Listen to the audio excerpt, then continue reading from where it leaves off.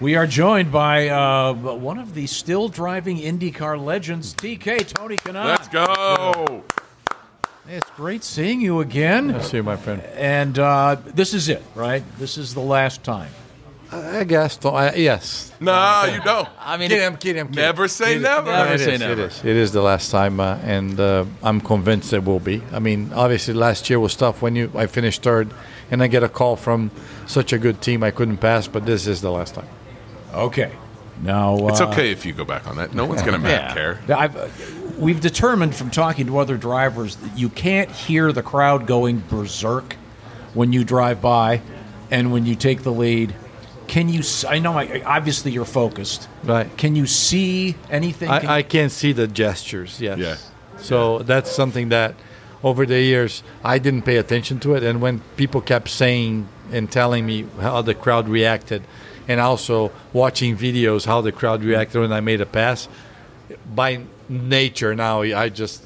if I take the lead going into one, I go into turn three. I'm kind of looking up. Yeah. Yeah. So if I ever crash, it would be extremely stupid because I'm watching these people. But, but yes, would it be so harder? true. So, last one, would it be harder to walk away winning it or finishing like second or third where you were like right on the cusp? I don't think it makes a difference. I think the decision that I made, I know I'm still capable of Yeah. winning, and I know I can still decide to come back next year if that was the case. That I was still going to be capable of winning. I think that the, the the biggest thing for me is I'm going to enjoy, and then I mm-hmm. think I wanted to enjoy with with you guys, with Yeah. my fans. All my four kids are here Yeah. this Awesome. this time, and for them to witness what this place, the way this place treats me, it's more important than Yeah. finishing second, winning, or, or Yes. whatever. yeah. How old are they now? Uh, 15, 8, 6, and 4. Oh wow. So four, like j- just old enough to really She- re- my remember youngest this. is my daughter, she and she will probably remember last, but now she she already knows race cars. I, I mean, it, it's it's an awesome, you know, when you you try to show, show your kids you did something good in life. Oh, yeah. I think this place is going to show them Absolutely. that that. That that letter that you wrote, uh, you know, and you put it on the bricks. That was really uh, really a cool touch. And I mean, how do you have you kept the emotions in check this week? So I haven't. I mean, I, mean, I, cry, I cried when I wrote it. Yeah. I cried when I have to write because obviously it wasn't the first time. Yeah. You know, so I cried when I wrote it. I cried when I wrote it again shooting it. And this week has just been depends, right? I mean, although you're really happy and somebody will say something that it will trigger and you get emotional and and Yeah. it's only going to get worse. I mean, driver's interest is going to be a mess. The parade's Oh, going to be a mess. Oh, man. Um, um, I had people coming up to me qualifying day, and you know, I had this kid. He he walked up to me. He had a, a 7-Eleven hat, old, all beat up. He says, 7-Eleven. "Do you remember this hat?" I said, "Well, I know it was my hat because I."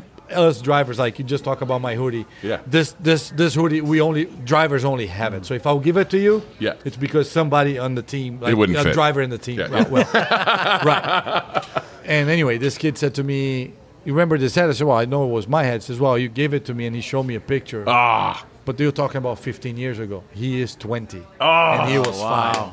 And then you cry. of he course, cried. yeah. How could you not? So yeah, it's been That's it's brilliant. been up and down. It's been up and yeah, down. I love that story. Now, uh, am I correct in saying that you have a sleeve with some uh, I have a tattoos? tattoo. Yes. Yeah, yes. and uh, is it? Do you have the Borg Warner on there? So you want, you want to see it? sure, I'd love to see it. Yeah. yes. Oh, look at all this Oh stuff. man. Basically, amazing. Tom, when, when when I what I did it was, I I made a tattoo when I won, with the biggest accomplishments of my life. So, it's the bricks, the Borg Warner. Then I have the hand imprints in the foot of my kids when they were born. Oh, wow. My wedding date with my wife, the, the car number that I won, and I won the 24 hours of Daytona. And you win a Rolex. That's the crown of the watch. so, yep. Who, who designed that? You designed it, but who did it? Uh, it was a guy in Sweden, actually. Uh, Sweden? Yeah. No, he was in Brazil at the time, but he's Oh, okay. from Sweden. So yeah. See, that's That a great is- story. That is Yeah. cool. You know, most people these days they've got you know Daffy Duck. They got it at the mall. My my brother-in-law has a uh, pink panther holding a beer that's like Yeah. that's, it's used to be pink and now it's just gross. they don't go. Was it Sweden? Uh, well, wait a minute. Australia. Yeah, I think I was in Sheboygan, It was Lake Castleton. Castleton. Tony Kanaan is our guest. TK. He is a fan favorite. Oh, isn't uh, he? He could do it. Heck He- yeah! yeah. He Can you imagine that story? Then we make a movie. We're gonna make a movie anyway, but that's a good way Now, to okay, end. you got to ask him the question. So, uh, when they make a movie about you, Yeah. who plays you? Uh, come on, Vin Diesel. There's no doubt.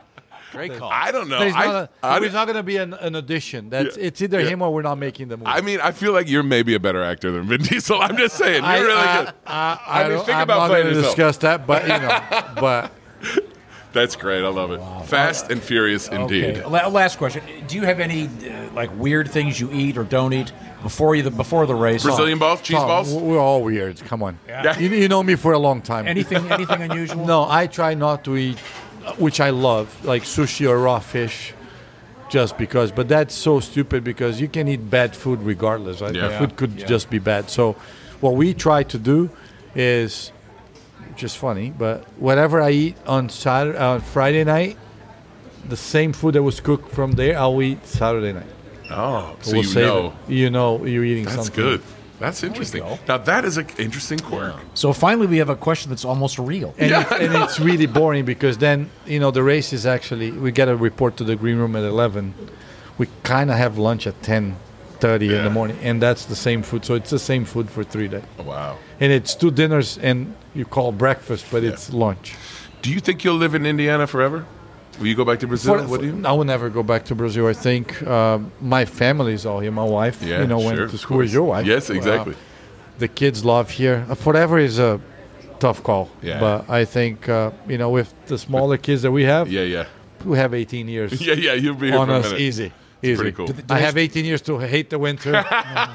do the theater show that me and Tom do. That we play ridiculous roles. Yeah. Oh, I'd like to see that. Do, your- do your kids speak Portuguese? That we bilingual. I only speak Portuguese to them at home, and uh, my Oh, wife is American, so they yeah, they speak both languages. Does she speak much? She does. Uh, She had to learn with four people, five people talking. Yes, but she does. Yeah. Most, mostly the swear words directed at you. She that's how she learned how to speak Portuguese, swearing at me, and now we had we had to stop since the kids are not okay. old enough to swear Yeah, yet. yeah, yeah. Tony Kanaan, ladies and That's gentlemen. it. TK, local boy.